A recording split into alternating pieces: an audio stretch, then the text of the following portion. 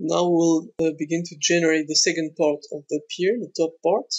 So to do that, first click on group again here and double click on subgroup 1 to select only these parts.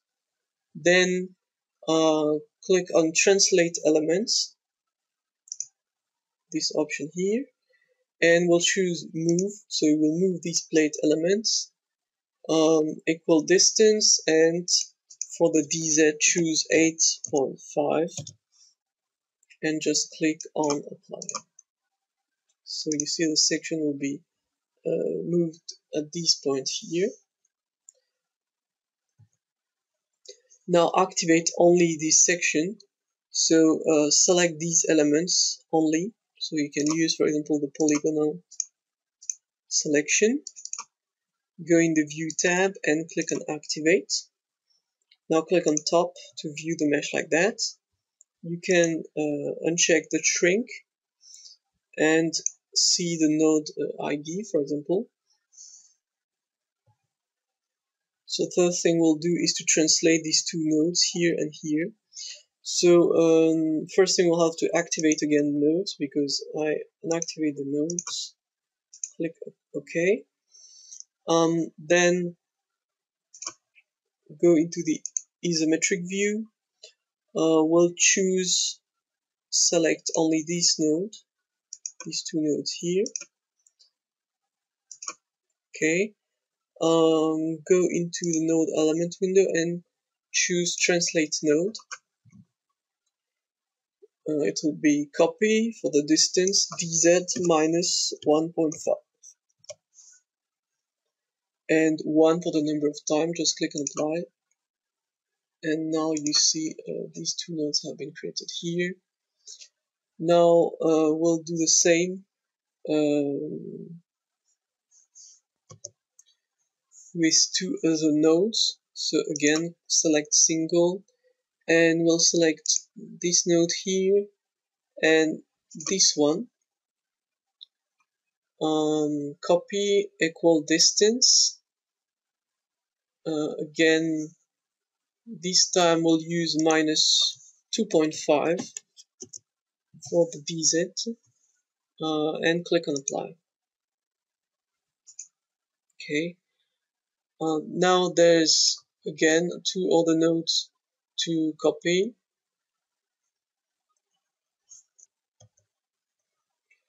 So we'll copy um, these nodes, one, two, three, four, the fourth node from this side on this part, and one, two, three, four, the fourth node on the, this on that side. Now, um, for the distance, use uh, 0, 0, minus 2 for dz, 1, click on apply.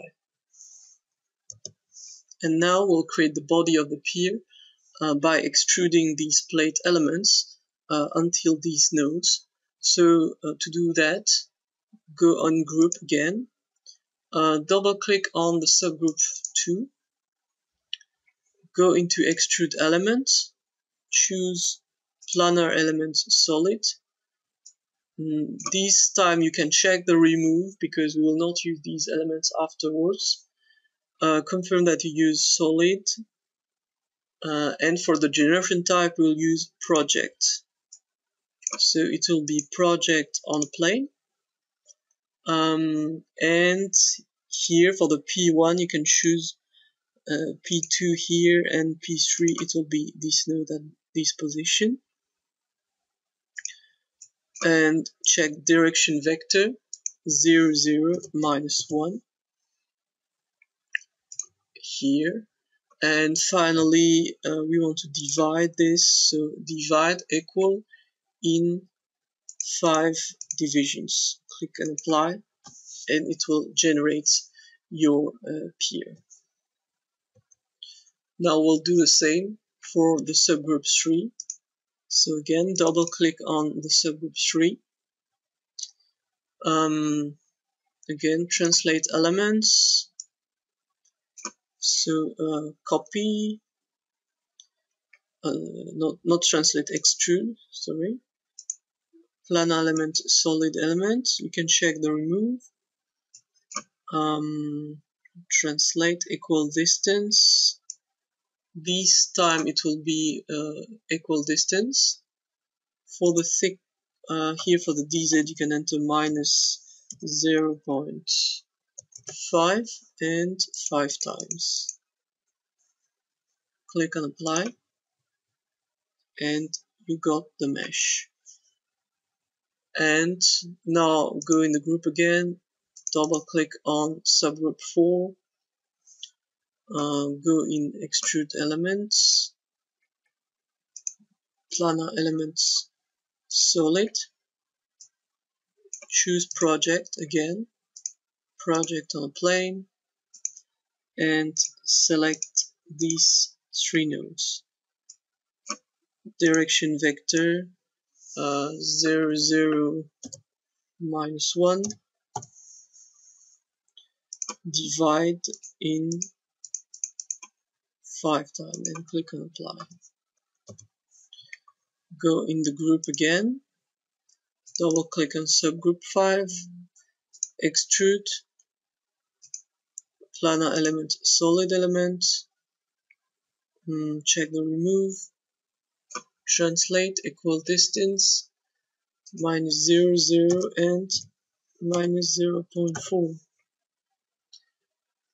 and 5 times. Now click on apply and finally you get um, the head of the pier so we can uncheck display of the nodes here. We can display all the elements. Okay. And to view better we can inactivate the nodes. Okay.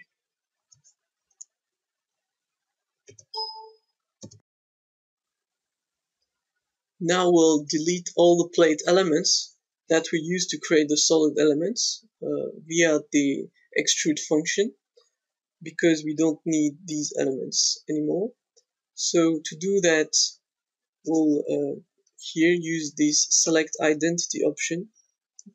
Click on plate and click on add. And you see these there's still some plate element here that we don't need. So just click on the delete button of your keyboard to delete these elements. Now to create the second part uh, of the pier we'll just use the mirror option. So go back in the node elements tab click on mirror uh, select all the elements on the screen then choose the copy option uh, YZ plane and enter 0 in the section here in the X field then click on apply and you get your full model. Now we have to check that uh, the current nodal connections between the elements are, uh, are correct. So to do that we'll go in the structure uh, view. And you have a button here check duplicate elements. So if it's uh, doing this sound it means it's okay. Um, then click on display free edges. And you see uh, the free edges it seems okay too so I will unactivate this option and now we can begin uh, the next step of the tutorial that will be to uh, enter the loading uh, informations. So go in load and we'll define first some static load cases. So for the name enter uh, self weight. The load case will be uh, the type of the load case is a dead load. So click on add now enter vertical load. It's also dead load. Click on add. And the last one will be seismic loading.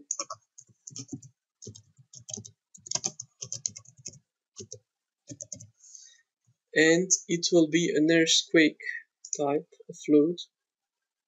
So uh, find uh, the type earthquake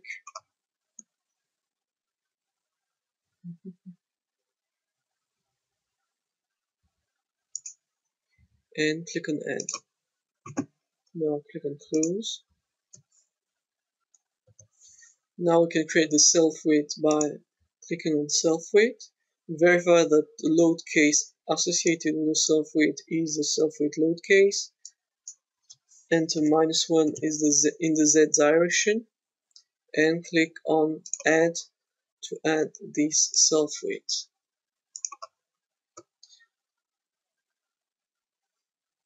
Now we'll assign the other two loads uh, that will be assigned to the nose of the top of the pier. So uh, the first thing we'll do is to activate the nodes only at the top of the structure to specify the vertical load applied. So um, I have to activate again the nodes. So go in the display, click on OK. And to uh, activate only these nodes we'll uh, right click and select plane. Now enter the plane, click on XY plane, enter 10.5, click on apply to select the nodes here. You can close this window and in the view tab, click on activate. Now you can go in the top view to see uh, the nodes of the top of the pier. We'll create the first nodal load. Click on nodal load. So nodal load. Uh, assign it to, to vertical load. Add and enter the value in the FZ direction. It will be minus 430.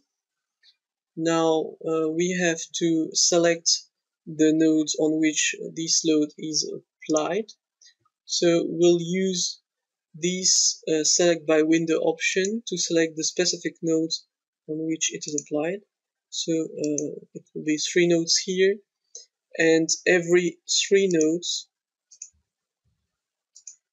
select these nodes one two three here.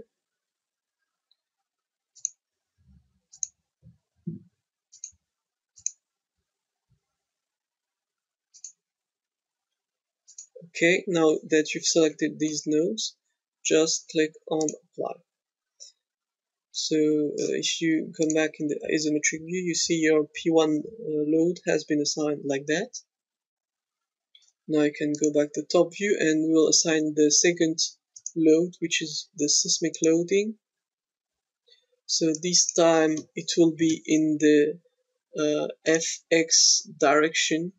So uh, enter the value 520 in the FX direction and select these nodes, these three nodes here and click on apply to assign this uh, load. Now go back in the isometric view and to see the two loads at the same time you can go into display loads and activate the nodal load here and now you can see on the screen all the nodal loads in your model. Now we'll activate again all the elements uh, and we'll deactivate the nodes. Okay. Now that we've done that, we have to assign the boundary condition to our model. So uh, we'll select the plane of the bottom of the pier. So it is the XY uh, plane. Just enter 0 for the Z position, click on apply. Now go into boundary tab, click on define support, add, and check the all to fix all the translation degree of freedom. Now click on apply and click on redraw and now your model is uh, configured. Now you can go in the next step, which is to perform the structural analysis. So uh, go in the analysis tab. We'll check before launching the analysis. We'll check the analysis options. So be sure to use the multi-frontal sparse Gaussian. Click on OK, and click on the button Perform Analysis to launch the analysis.